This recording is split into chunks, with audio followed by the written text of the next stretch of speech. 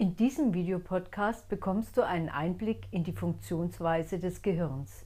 Das gibt meiner Meinung nach wichtige Anregungen für das Arbeiten mit Menschen und natürlich auch für dich selbst. Meine heutige Buchempfehlung ist das 2004 erschienene Buch von Klaus Grave Neuropsychotherapie. Mein Name ist Gertrud Schröder, auch Long Ping, der friedliche Drache genannt. Neurons that fire together, wire together. Das heißt, Neuronen, die zusammenwirken, verknüpfen sich. Das wusste schon 1949 der amerikanische Psychologe Hepp. Ein paar beeindruckende Fakten. Das menschliche Gehirn hat nach heutigem Wissensstand etwa 100 Milliarden Neuronen. Von den Gliazellen, die noch nicht genauestens erforscht sind, gibt es nochmals 10 bis 50 Mal so viel. Jedes Neuron ist mit anderen Neuronen verbunden und zwar mit bis zu 10.000 Synapsen. Das heißt, wir haben Trillionen synaptischer Verbindungen in unserem Kopf. Und jede Nervenzelle erhält in ihrem Kern das gesamte Erbgut des jeweiligen Menschen. Und tatsächlich kennt jedes Neuron seinen Platz und weiß, was es zu tun gibt. Fast unglaublich vorzustellen. Die Basis jeden Denkens, Fühlens und Handelns sind bestimmte neuronale Erregungsmuster. Zwischen unserem Verhalten und Erleben und den neuronalen Strukturen, Verbindungen und Prozessen in unserem Gehirn besteht also ein enger Zusammenhang. Daraus ergeben sich Erkenntnisse für das Verständnis menschlichen Verhaltens. Psychische Prozesse werden durch das Begreifen der Funktionsweise des Gehirns als Organ erklärbar. Unser Gehirn ist ein Meister im Erzeugen von Mustern und ist ständig gefordert, bestimmte Reize zu verarbeiten, zu aktivieren und andere wiederum aktiv zu hemmen. Eine Hauptfunktion des Thalamus, welcher den größten Teil des Zwischenhirns ausmacht, ist die Bewertung eingehender Signale. Er ist wie eine Schaltzentrale mit fast allen Hirnarealen verbunden. Viele neuronale Prozesse laufen gleichzeitig und unbewusst ab. Auch nicht bewusste Wahrnehmungen haben Auswirkungen auf unser Verhalten. Aktive Hemmprozesse sind für ein zielgerichtetes, geordnetes Handeln notwendig.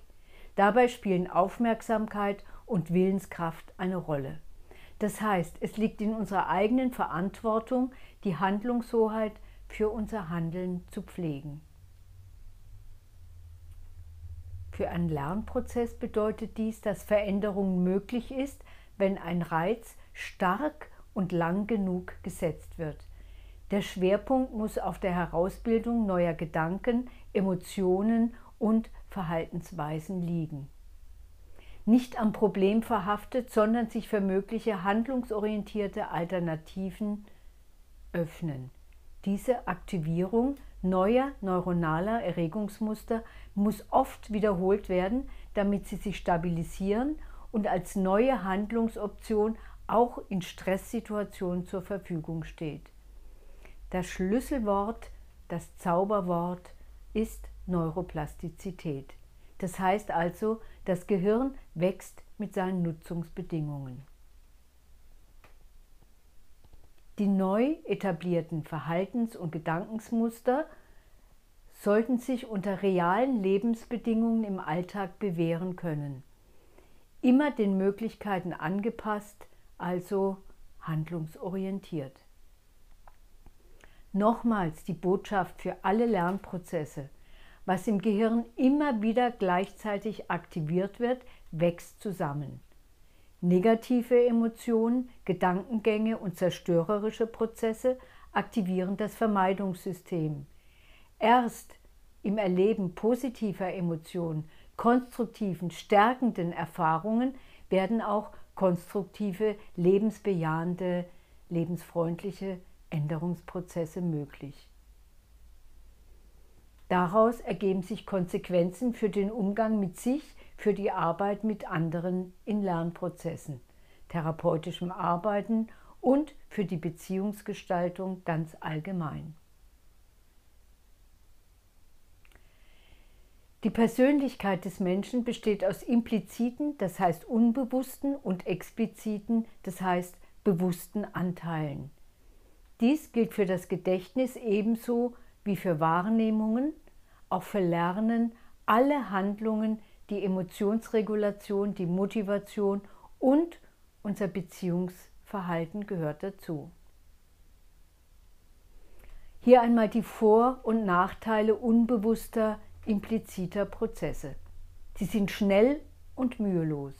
Sie brauchen keine Aufmerksamkeit und Bewusstheit.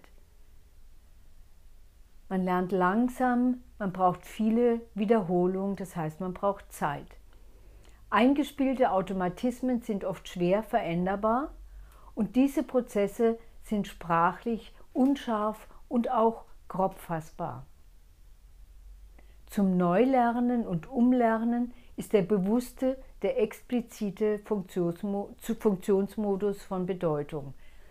Die damit verbundenen Qualitäten sind die bewusste Reflexion, sprachliche Kommunikation, Planung, willentliche Kontrolle und das Aufrechterhalten von Zielen. Erkennen, benennen, wiederholen, durcharbeiten und integrieren. Zum Beispiel Konfrontation mit Angstsituationen im geschützten Raum, die Basis dafür ist, eine entspannende Lernbereitschaft herzustellen. Für die Arbeit mit Menschen bedeutet das Folgendes. Für ein Neulernen, Umlernen im expliziten Funktionsmodus spielen Motivation, Einsicht, Engagement des Gegenübers eine entscheidende Rolle. Wichtig Dafür ist das entsprechende Setting, die Atmosphäre, das heißt das Einbeziehen des impliziten Funktionsmodus, also die Motivation und der emotionale Zustand. Eine erfolgreiche Begleitung führt zu dauerhaften strukturellen Veränderungen im Gehirn. Dies wurde in klinischen Untersuchungen nachgewiesen. Ein Beispiel dafür, das genannt wird, sind auch die Untersuchungen von Spinnenphobie.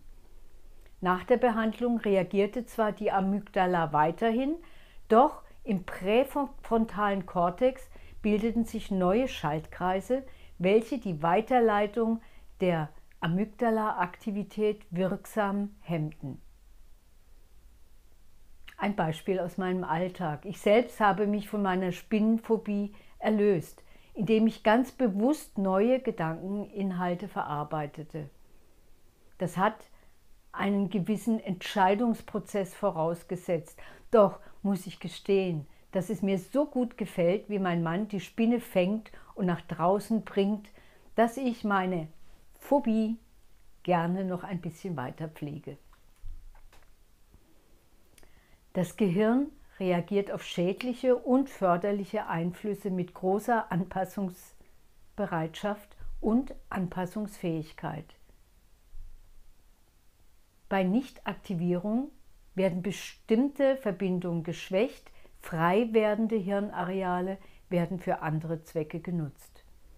Umgekehrt führen Einflüsse, die sich oft wiederholen, durch die Bahnung neuer Verschaltungen zu Änderungen, die bei entsprechender Nutzung mit der Zeit automatisch ablaufen. Neue Strukturen können dann die Grundlage für dauerhaft verändertes Verhalten und Erleben sein. So führt zum Beispiel das Üben einer einfachen motorischen Aufgabe über 20 bis 30 Minuten pro Tag erst nach drei Wochen zu einer nachweisbaren Veränderung der Hirnaktivität. Die neuronale Plastizität, das heißt die Formbarkeit des Gehirns durch Stimulierung oder Deaktivierung bestimmter Hirnareale, macht Lernen und Weiterentwicklung möglich.